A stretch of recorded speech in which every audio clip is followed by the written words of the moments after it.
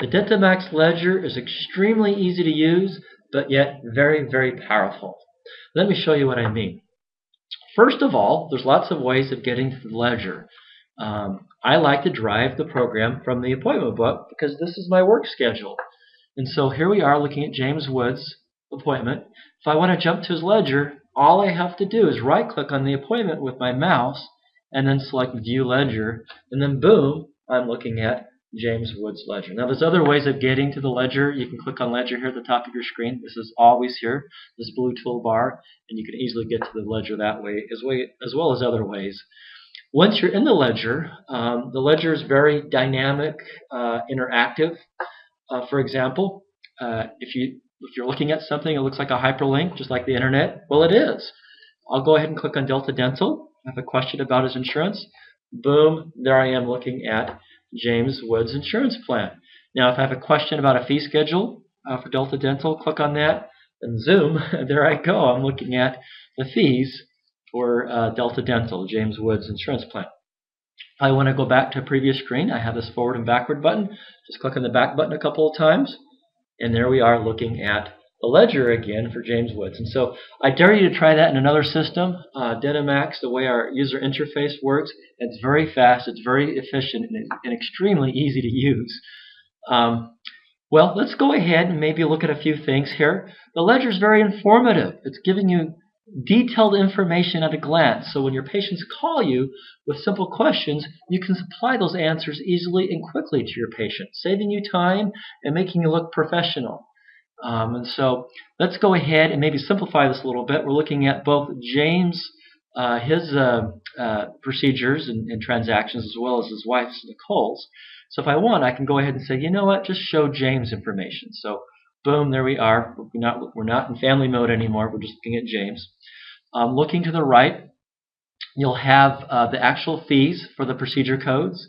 Then you'll have the insurance payments, patient payments, write-offs by the insurance, write-offs by your patient, and then your balance.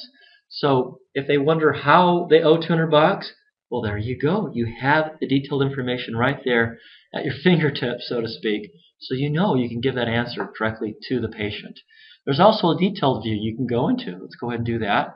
And so directly below the procedure code, you can see um, what the insurance is paid, $100, what the patient is written off, you've written off for the patient, insurance adjustments, uh, patient payments, and even notes.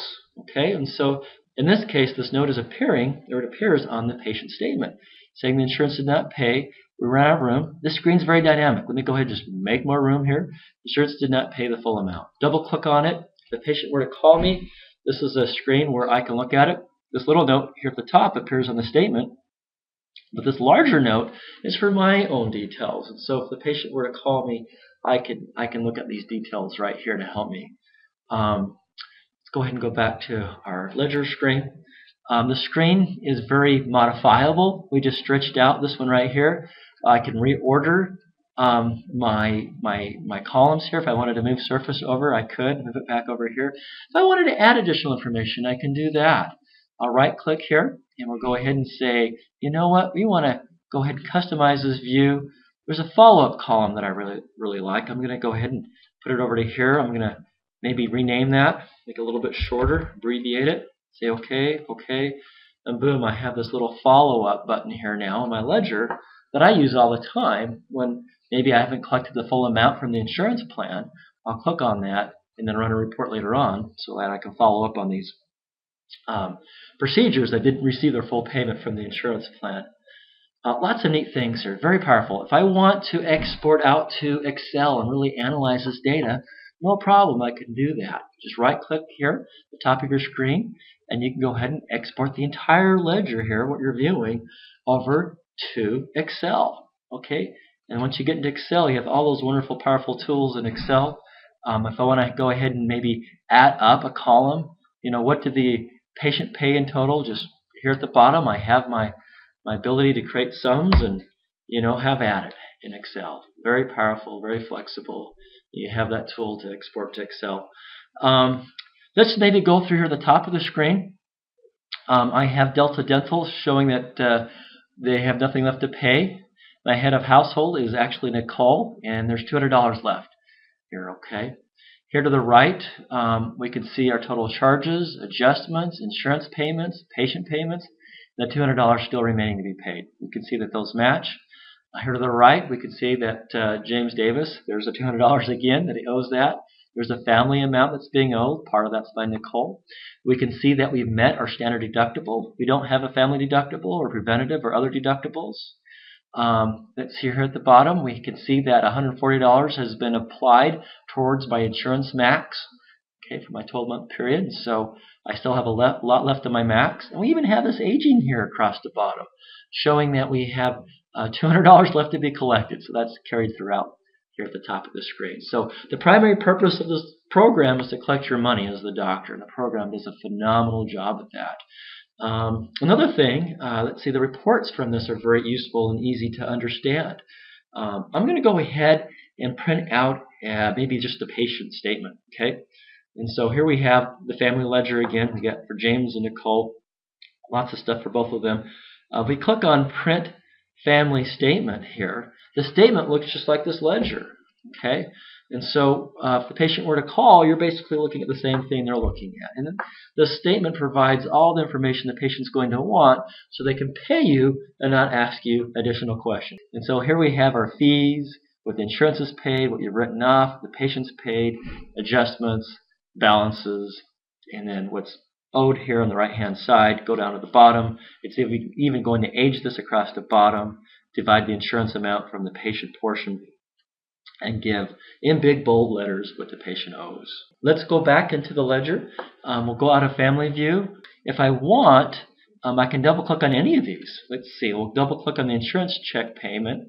If we double click on that, we can see that this $100 payment is part of a $500 EOB. If we click on view check, it will show you how that hundred dollar uh, or that five hundred dollar EOB was was paid out, we could see that the whole amount still hasn't been paid out.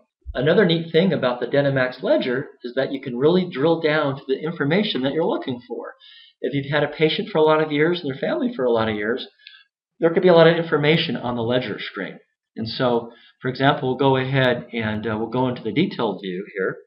And maybe I just want to look at patient payments. The patient has a question about the payments that they've made in the past and so I'll make everything else disappear except for patient payments. So down here at the bottom of the screen, I'll go into view mode and everything disappear except for patient payments and boom, there we are looking at just the patient payments.